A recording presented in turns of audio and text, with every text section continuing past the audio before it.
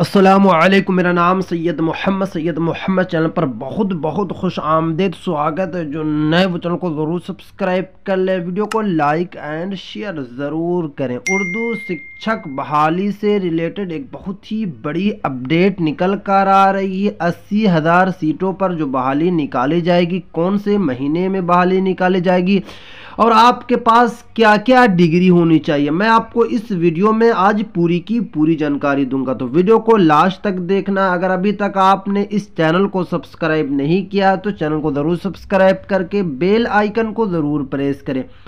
यहाँ पे आप देख सकते हैं बीपीएससी प्राइमरी उर्दू टीचर्स के लिए कामयाब उम्मीदवारों को मुबारकबाद। अब्दुल कयूम अंसारी, आपको पता है कि अभी मैंने लगभग सात से आठ दिन पहले एक वीडियो बनाकर डाला था, उसमें बताया था कि अब्दुल कयूम अंसारी साहब का कहना है कि लगभग लगभग अस्सी हज़ार सीटों पर बहाली होगी, जिसमें से दो हज़ार सीटों पर बहाली भी निकाली गई थी।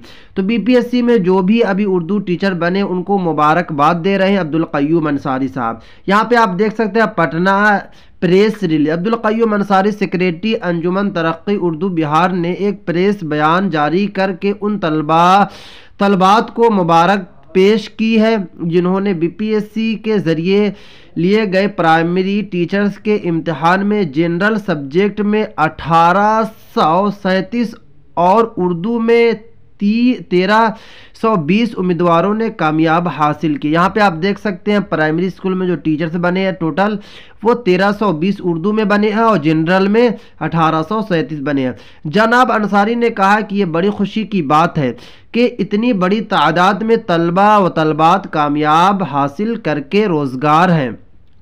रोज़गार से बढ़ रहे हैं। उसके बाद उन्होंने कहा कि उन्होंने उम्मीद ज़ाहिर की कि आइंदा आने वाले मुकाबला जाती। आपको पता है कि जो ट्राई थ्री, यानी कि बीपीएससी जो ट्राई थ्री एग्ज़ाम कब आएगा? अगस्त के महीने में आएगा। तो इनका यही कहना है कि जो भी उम्मीदवार टू में एग्ज़ाम नहीं दे चुके हैं तो उनको थर्ड के लिए तैयारी अभी से ज़रूर करें। किस तरीके से आपको तैयारी करना, आपके पास क्वालिफिकेशन क्या होनी चाहिए तो यहाँ पे पूरा बताया गया।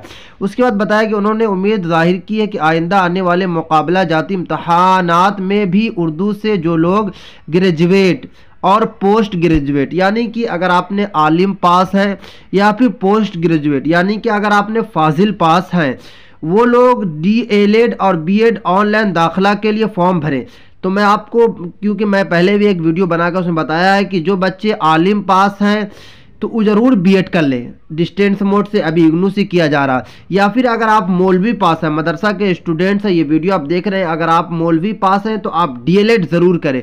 क्योंकि वैकेंसी अस्सी हज़ार सीटों पर बहाली होने वाली है। पूरी जो बहाली जो निकाली जा रही है, उर्दू की टोटल जो सीट है, अस्सी हज़ार सीट है। जिसमें से आपको पता है कि लगभग बीस हज़ार के लगभग पदों पर बहाली हो चुकी है। और जो अभी भी बहाली लगभग साठ से सत्तर हज़ार सीट अभी भी खाली है। पूरे बिहार के स्कूलों में बहाली होगी। तो आपको अभी से तैयारी शुरू कर देना। इनका अब्दुल कयूम अंसारी साहब का कहना है कि जल्दी से आप बी कर लें, या फिर अगर आप ट्वेल्थ पास है, यानी कि मौलवी पास है तो आप डी कर लें। उसके बाद आपको क्या करना है कि उसके बाद एस और सी पास करें, ताकि वो लोग प्राइमरी, मिडिल, सेकेंडरी और इंटर स्कूलों में इस के अहल बन सके। यानी कि सबसे पहले आपको क्या करना अगर आपने 2023 में आप मौलवी पास हुए हैं तो आपको अभी डीएलएड में, बिहार में 2024 में डीएलएड का फॉर्म भरा जा रहा। आप उसके लिए, मैं उसको लेकर वीडियो भी बना दूँगा डीएलएड के लिए। आप उसका ज़रूर फॉर्म भर दें। फॉर्म भरने के बाद आप दो साल का डीएलएड का कोर्स करें। उसके बाद फिर आपको एस टी यानी कि स्टेट निकाल लेना है, या फिर आप अगर सीटेट निकालना चाहते हैं तो दो में से कोई भी सेंट्रल एग्ज़ाम हो, या फिर स्टेट बिहार का निकाल सकते हैं। उसके बाद जो अस्सी हज़ार सीटों पर जो बहाली होगी, वो आप आसानी के साथ उसका फ़ायदा उठा सकते हैं।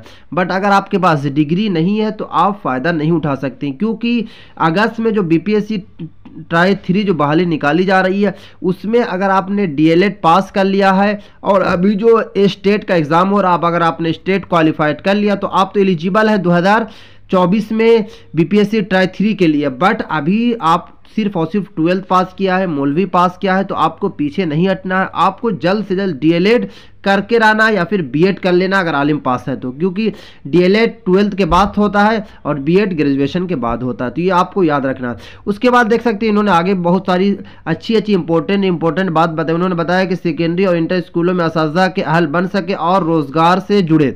साथ ही देगर मुकाबला जाती इम्तहान के लिए भी तैयार करें, ताकि रोज़गार से जुड़कर अपने मीशत को दुरुस्त कर सके। हिंदुस्तान सतह पर मुसलमानों की आबादी अठारह फ़ीसद है। आपको पता है कि पूरे हिंदुस्तान में मुसलमानों की आबादी बहुत ही कम है, जबकि अला तालीम याफ्ता नौजवानों की तादाद मुलाजमत में तीन फ़ीसद ही है। यानी कि बताया यहाँ पे जा रहा है कि पूरे जो बिहार में मुसलमान है, बिहार में, सॉरी, पूरे हिंदुस्तान में जो मुसलमान है, वो अठारह फ़ीसद है।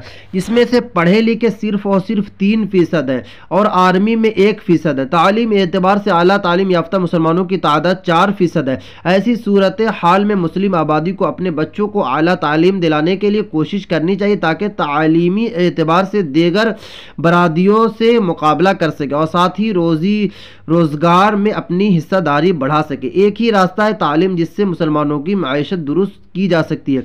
अभी उर्दू, फारसी और अरबी पढ़ने वाले तलबा तलबात के लिए सुनहरे मौक़े हैं। आपको पता है कि उर्दू के लिए भी बहाली निकाली जा रही है, बिहार में फ़ारसी के लिए भी बहाली निकाली जा रही है और अरबी के लिए। तो अगर पता है कि अभी बिहार में उर्दू, अरबी और फ़ारसी की भी वैकेंसी निकाली जा रही है तो अगर आप मदरसा के स्टूडेंट्स यानी कि अगर आपने नदवा से आपकी फ़रागत है, या फिर अगर आपके अशरफिया से फ़रागत है, या फिर आप मुजाहिर से फ़रागत है, या फिर दारुल देवन से फ़रागत है तो वहाँ की जो सर्टिफिकेट हो वो ट्वेल्थ तक की काम आती है। यानी कि उस बेस पे आप ग्रेजुएशन में एडमिशन फ़ौरन ले लें। उसके बाद आप बीएड कर लें। या फिर आप डीएलएड में भी एडमिशन ले सकते हैं। क्योंकि आपके पास सुनहरा मौका ये है कि जो आलिम है, उनके पास फ़ारसी और अरबी की अपॉर्चुनिटी है कि इसके टीचर्स बन सकते हैं।